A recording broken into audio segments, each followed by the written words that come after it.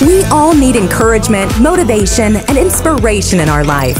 Each week, Patti will interview guests who will motivate and inspire you through their unique personal and professional experiences. I listen, my mom listens, pretty much the whole family. Listen, my whole family loves it, man. It's drastically changed my life. All of your senses will wake up as you listen to this scrumptious podcast that is sure to tickle your eardrums.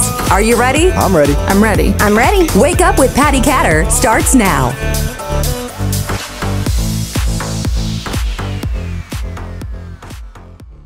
Welcome to Wake Up with Patti Katter. I am really happy that you all decided to listen in today. And today I actually have Rom Raviv with me. Did I pronounce your name right, Rom? Yep, yep, you got it. Good, because before the show I forgot to ask you about your last name. I'm normally not great at last name pronunciations. So, Rom, I would love it if you would tell my guests a little bit about where you came from. You're one of the younger guests, if not the youngest guest I've ever had on my show. Nice. Yes. So, could you tell me and the listeners a little bit just about yourself, where you came from? Yeah. So, like you said, my name is Rom Raviv. I am 19 years old. Just turned 19 in November. November 1st is my birthday. Um, and yeah, I've just been been uh, born and raised here, Long Island, New York. Uh, I go to school in the city now, in Baruch College. It's a business school. I'm in my second year, and maybe we'll get into it a little later. But I have a podcast editing agency called Podblade, and I have my own podcast called Spreading Success. Mhm. Which is definitely why I wanted you on the show today because I was so impressed. I'm not even exactly sure how I ran across your information um, as far as your podcasting business and such, but um, I remember probably one of the groups on Facebook or something. I came across you and it just really impressed me to read your biography because you are so young. And I decided to poke around at your website a little bit, and I was really impressed with you. So, um, you were born in New York then? Yep. And how do you think your childhood was? I just like our listeners to know a little bit about where our guests come from and how they grew up. Uh, I think I I was not like rich rich, but I think I was pretty you know middle class, pretty well off. Um, never had like I, I don't have that story where it's like oh a broke kid and then just goes. I never really had that experience. Uh, my parents got divorced when I was around two or three, uh, so that's just been um, a constant thing. And people usually say like oh I'm so sorry, but like I'm really used to it, so it's not really a big deal for me because I don't really know any different. Um, and my dad is an entrepreneur. He has his own real estate agency. My mom is the complete opposite. She works at Northwell Health. It's it's a hospital, and so just balancing those two, I think I got uh, a little bit of both. I think I got the whole entrepreneurial spirit from my dad, and I think I got the fundamentals and, and the book smarts from my mom. So I think together it's just forming a. It's it's really uh, coming together very nicely. So I'm looking even at your surroundings right now and I see time is money. I see, you know, some books on your desk and typically that's not what you see in a 19-year-old. You hear about, you know, maybe at college, but a lot of partying and I just don't see how you even have time to party if you do. maybe you do, but um I'm wondering if you could tell our guests a little bit about your podcasting because that is how I met you. Um, Rom and his team over at Podblade. They edit my podcast. They do a phenomenal job. They are top notch. I have worked with many people over the years, and their company floors me every time they do anything for my podcast. So, um, Rom, how did you get into podcasting? Yeah, so I was always into entrepreneurship and I always wanted some kind of a, a personal brand, uh, creating content, something like that. I knew it ever since I was like maybe 14 or 15, but I didn't know what. And uh, the pressures from high school, you're always surrounded by these bullies and you can't escape them. And college is a little different because no one really knows each other. It's a big school, big campus. Uh, and so it wasn't until my first year of college where I was like, wait, I'm actually free. Like I can I can actually do something that that I've always planned to do. I just didn't know exactly what. So I was just pursuing my uh, my entrepreneurial passion with things like drop shipping. I've tried all these little side hustles, uh, and then I went to a business event called Breakthrough, and it was a drop shipping event. And one of the speakers there, his name was Casey Adams. He was a big podcaster and personal brand guy. and I didn't really do much with my personal brand. I just had an Instagram account, but really wasn't doing much with it. And then Casey uh, presented, and he was telling us how we needed to start a podcast. It doesn't matter who we are, what we do, uh, our success, we need to start a podcast. And so I actually ordered the microphone for my podcast while he was still talking. I didn't wait because I knew I wanted to do this so badly, and I knew that I would give myself so many excuses if I came home and then tried to order it. I wanted to get that momentum of having that first step. And so that's what happened. And ever since then, I've just been going to these events, uh, getting the guests uh, from the events, the speakers, having them on my show, and then leveraging their names to get even higher level guests, and then just working my way from there. Mm-hmm. So, about how long have you been doing this? For about nine, ten months right now. Mm-hmm. So you're doing phenomenal for that short amount of time. Thank you. Yes.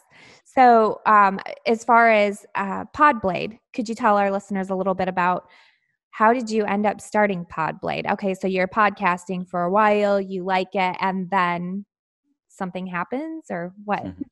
Yeah. So obviously, uh, you're very familiar with my partner, Apple. For those of you don't know, I am the co-founder of Podblade. The other co-founder is Apple Kreider. He is another top 100 business podcaster. Uh, his podcast is called Young Smart Money. And the way that we came in contact was I, when I wanted to get started with my podcast, I had absolutely no idea what I was doing. And I looked around social media and YouTube, and there wasn't really many people doing what I wanted to do or had the same vision. Uh, but he was one of the people that I came across because of just basic, you know, podcasting or just looking up things on Instagram. And other than him, the other content was just best equipment to buy. They weren't teaching you how to rank. They weren't teaching you how to grow your show, how to get guests. Basically, exactly what I was looking for. And so that's where Apple came in, and I started messaging him and learning so much. I'm very, very grateful that he gave me the opportunity and he gave me a chance, and he just continued to help me grow. And he had an editor himself at one point, and he saw that I was struggling with that kind of work. And so he offered me his editor to work with him and then eventually, once we saw that there could actually be potential to, to turn this into a business, that's when we just started coming up with ideas of how we would break it down. And then, long story short, here we are. And um, it's still unbelievable that it's happened so quickly. And I'm really, really grateful because this is like a dream come true, you know, monetizing the passion, do running a business. It's just all coming together right now. Mm-hmm. One of the most amazing things I think that I noticed is that in your pod pod blah, sorry pod blade group on Facebook, you actually have tutorials of how to do different things. That's really amazing because um, I have been podcasting for a long time, but I still need to keep up with technology and the different things that are happening so that I can keep up with, you know, basically what my listeners need. And one of the most recent things, I think you released it maybe even today, was how to take um, one podcast, I believe it is, and make it into 30 days worth of social media content. Yep. That's cool. So, um, when you're creating these things, are you and Apple working together, um, or are you kind of doing things separately? How are you keeping up with um, editing all these podcast shows. Obviously, you you have a team now. I think. Um, yeah. So, I mean, how are you growing? And um, yeah. Yeah. So, so right now we we do have an editing team. So we're mostly focused on like the whole management and like working on the business. We don't do the actual editing ourselves. Mm-hmm. So what happens is, in terms of the group, the group is a, a great community. I know.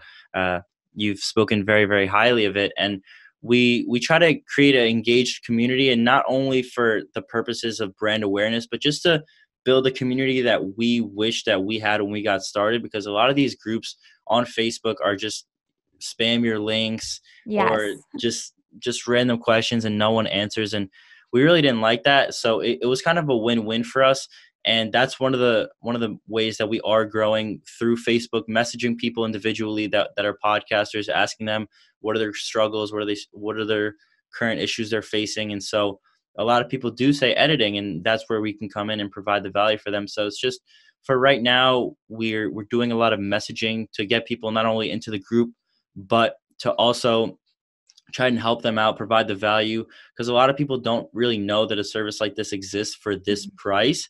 And Right. that's that's really what I want to get the message across to a lot of people because they some people are actually quitting because they don't feel like they have the the adequate resources or time or effort Mhm. and people got started people that got started when I got started most of them quit now because they just didn't have that so I'm glad that I was able to to last and that's this is why I'm really trying to help other people with it as, as well. Which I do really feel like your group is very welcoming. I know for me, I think I am kind of, it's coming back to me a little bit about how we met. So I remember you kind of reaching out and you said something like, you were wondering if I did my own editing. And I pretty much told you, yeah, I'm fine for now um, because I don't want to spend the extra money uh, paying a big editor to do this. And and then you told me your prices, and I thought, how can I not hire you because your prices are phenomenal. And I Mhm. don't know if you want to mention your prices on the show or not because they could change or whatnot. Um, Mm. and it may be based on different, you know, what the different needs are. Um, so, I mean, that's kind of up to you, but your prices are phenomenal. And I'll tell you what, the I feel so stress free when I'm doing these podcasts now because literally, as soon as I'm done with a podcast, I go to Podblade and I upload everything, and you guys do all the rest. And Yep. you even write my show notes. So it's just great. And um, I absolutely love the podcast now. I mean, before it was a little bit of work. Now I have you doing all this. You guys even created my um, YouTube channel art and um, you make all my audiograms. And it's just been such a breath of fresh air and just so fun now to podcast and to do what I love. So thank you. Yeah, and it really is a dream come true for a podcaster to upload a file and never look at it again. Yes. I know from experience, and that's one of the reasons why I created it. The all-in-one $20 podcast editing. It's it's unheard of. We're one fifth of the industry average, probably even more. And at this point, there are people charging $200, $300 for an episode, and they'll like pitch you on all these like little things that no one even can tell the difference. They can just tell because they're like audio engineers. Yes. But it, it's just we want to give podcasters everything that they need and none of what they don't. That's why we offer the video for the YouTube. That's why we offer the audiogram to help them grow. These audio editors and the people that are charging so much, they don't really know what podcasters need. They just know how to make something sound amazing. So that's mm-hmm. really the difference. That's true. And I really feel like your team cares. Like a couple of weeks ago, I had an issue with my audio and it was totally my fault. Actually, you all watching this video can see I have this big poofy microphone right now. and um, where I'm going to be buying another one and moving my area where I record. But in the meantime, I told these guys, you know, my audio pretty much it sucks. And can you do anything about it? And they told me basically the way I um, recorded it, they couldn't really do anything, but they still offered to help me out and to they're actually um, speeding up the process of my re-record that i did and they've just been really helpful and they didn't have to do that. I didn't pay for i mean you know i didn't have like expect them to go above and beyond and they did do that and i've been able to call and talk to rom personally um, with all the questions that i've had and apple's been fantastic so um, these guys are legit they're the real deal and the reason that i'm doing this podcast i don't do like a lot of infomercial type stuff um, but I think Rom is very interesting. Um, his story of how young he is and pursuing this passion. But I also have a lot of listeners who've asked me questions about podcasting. So wanted to put this out there. Um, Rom, do you have anything that you'd like to tell people who may be interested in starting their own podcast? Yeah, I think the number one thing is to just go to anchor.fm and get started right when you finish this listening to this podcast and right until the end. Just get off your phone or whatever you're listening to, and then just go to anchor.fm and just get started. That's like the hardest thing for people because they overthink they they they think that they need all the perfect microphones, all the perfect webcams, the lighting. And this is after 9 months, but if you look at my first episode, it was just garbage. It was like I was wearing like my video game headphones that I had. It was in my bed that was a mess. Um, the lighting was garbage. Everyone could see like the mess on my floor and the oh, it was just it, it's funny looking back and hopefully I'll laugh at this uh in, like 9 or 10 months as well, kind of doubling that, but yeah, the, just don't overthink it and just get started. Leave this podcast once you're done. Go to anchor.fm and just start the process. And it really doesn't matter who you are and what you do. You don't need to be a millionaire to have a podcast. You just need to know how to leverage the attention and just speak about something you're passionate about. And most of you do it anyway. So why not record it and just build something for yourself and your personal brand? Mm-hmm, absolutely. Speaking of personal brand, um, those of you watching can kind of see um, Rom's little cartoon on his computer. I think that's pretty oh, nifty. Yep, there you go. um, so, do you all help with branding yet, or is that in your future, or you never know? Uh, I mean, branding is. I'm not a graphic designer myself. I could definitely like put people in the right direction because when I first got started, I made my cover art on Canva. And let me just say, I highly don't recommend to do that because it doesn't work out well and it's not as professional as, as you as it might look like to you. But yeah, if if anyone has any branding questions, I don't think that's even a, the service that we plan to offer. But if anyone has like any questions or they they got a cover art made for them, either from us or from someone else, and they want to see what it looks like, or for, from my perspective, or if if I have anything that I would rather touch up on, the name, the description, really that that's not really a service that's just providing value to the community because it's just giving back i know a lot of people uh, apple being one of them have really helped me in, in the process and i and i really want to give that back to people who were in my position nine ten months ago so it's not really a service but if anyone has any questions i'm more than willing to to answer it which I definitely sense that being a part of your community. Um, I love too that your podcasters are helping one another because so often with businesses, you see a lot of competition with one another and a lot of cattiness. And um, I've never seen that in your group. Everybody's been so helpful. And I think it's because we have a great leadership team. And I'm really proud of you guys and what you're doing. And I'm proud to be a part of Pod Podblade. So thank you, Rom. Thank you. I mean, you've you've been an amazing support as well. I know when when we first met, you even posted on your group, gave me a nice shout out that warmed my heart as well. And I'm really really grateful for uh for, to be able to help not only you but all the other podcasters. And I'm learning so much from not only the people in the group but really every all the podcasters that I come in contact with. They're all great people, and even though we might not all have similar topics of podcasting, just a general concept is is amazing. I love it. It really is my passion, and I'm just really, really grateful to uh to be able to share the value with other people. Thank you. Would you mind sharing your social media links with our listeners? Sure. So uh, my podcast is called Spreading Success, and I'm I'm sure you'll link that down below. My Instagram is Romraviv, R O M R A V I V, and that's really the main thing that I use. And you can join the Facebook group for the one that we've been talking about, the Podblade podcasting community. Patti will put the link down below as well. And if you have any questions, I don't just say that. Please feel free to message me. I will respond. And yeah, happy podcasting. Thank you. Thank you for joining us today. No problem. Take care. Thank you.